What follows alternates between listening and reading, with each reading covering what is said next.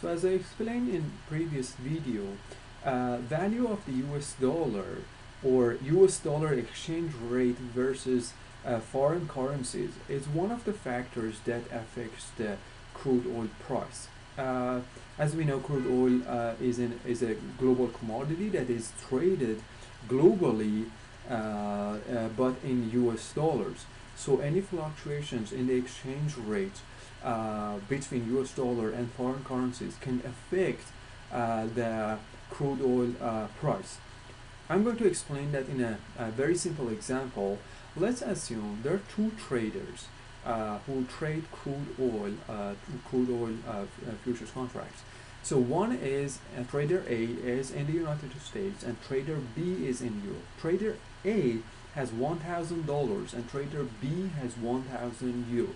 So First, let's assume that the exchange rate between uh, uh, US dollar and euro is one to one. So meaning that one dollar is equivalent to one euro. And let's assume uh, that crude oil uh, price is $50 per barrel. Okay, let's see what happens uh, uh, for trader A. Trader A has $1,000 and can buy 20 barrels of crude oil or can buy futures a contract equivalent to 20 uh, barrels of crude oil. So a $1,000 divided by 50 uh, leaves uh, 20 barrels of crude oil.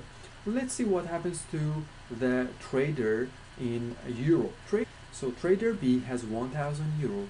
The first thing that trader B has to do is uh, going to the exchange and convert the thousand euros to uh, the equivalent dollar amount, which is one thousand dollar.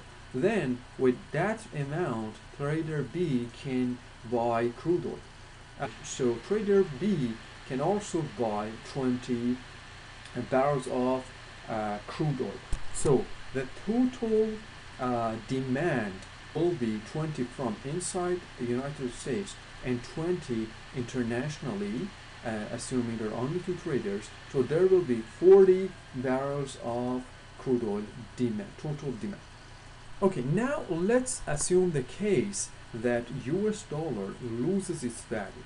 So again, same traders, two traders, uh, trader A is located in the United States and has a thousand dollars.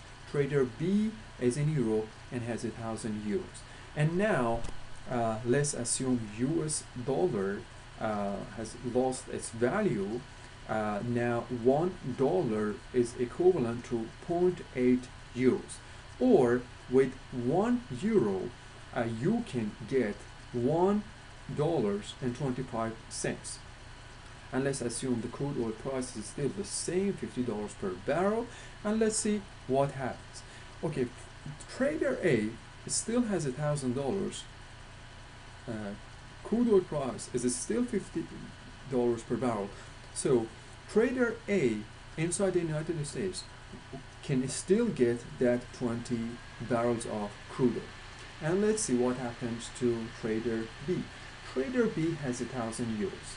Trader B has to go and exchange that 1000 euros to equivalent uh, uh, dollar and as we can see because dollar has lost its value that thousand euros will be converted to thousand two hundred fifty dollars because with one euros uh, trader B will get one dollar and twenty five cents.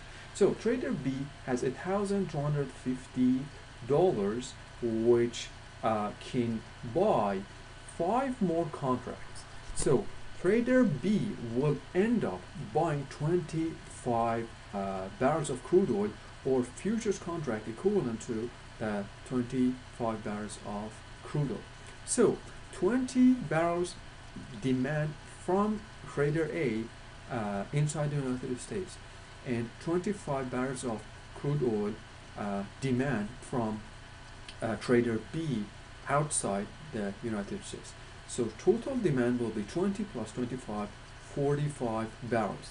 So we can see demand increased from 40 barrels to 45 barrels uh, when the dollar has lost its value. So it means that demand has increased so demand curve shifted to the left hand side which changes the market equilibrium price for crude oil and it potentially increases the uh, crude oil price